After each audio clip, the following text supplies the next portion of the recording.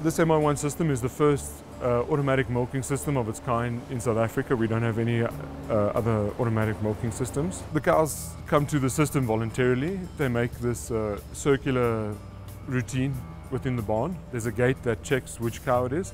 If the cow is ready to be milked, the cow is let into the waiting area and that gives her access to the robot. The robot consists of four boxes and an automatic attachment system. The robot moves between the boxes to where it's needed. Once the robot gets to a box, it picks up the milk rack. The robotic arm has a camera attached to it through which it can see the teats and attach the cups. Once normal milking starts and uh, we have good milk. The good milk is sent to the bulk tank. The other feature that's unique uh, for a robotic milking system is it milks each quarter individually on the cow and all data about the, the milk process is, is recorded for each quarter.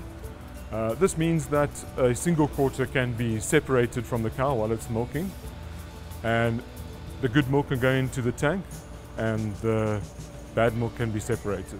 The other unique thing for automatic milking system compared to a conventional system is that the cows come to the parlor automatically. So we don't need the cows to be herded to the machine and we don't need anybody to be present while the cows are being milked. The cows can milk completely unattended. Uh, this gives flexibility to the farmers. The machine runs 24 hours a day, seven days a week. We also have the, the robot connected to the internet and a farm view system. This allows the farmer to remotely look at what's happening on the machine. This helps with troubleshooting and helps with the management of the system, especially if the farmer is not, uh, not at the farm or he's on holiday and he just needs to check something.